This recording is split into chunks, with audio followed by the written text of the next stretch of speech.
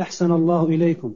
فضيلة الشيخ هناك جمع من الناس يجلسون قرب باب العمرة ليلا ويقولون يا علي يا علي ويرددون أقوال فيها طلب الحاجات من الأموات كالحسين بن علي والأولياء كما يسمونهم ويقولون ذلك بصوت مرتفع فهل ننكر عليهم؟ وكيف نرد عليهم؟ وجزاكم الله خيرا. بلغوا المسؤولين بلغوا المسؤولين عن الحرم من الهيئات ورئاسة الرئاسة العامة للمسجد الحرام والمسجد النبوي. بلغوهم. هم المسؤولون عن الحرم وما يجري فيه وهم إن شاء الله سيقومون بالواجب.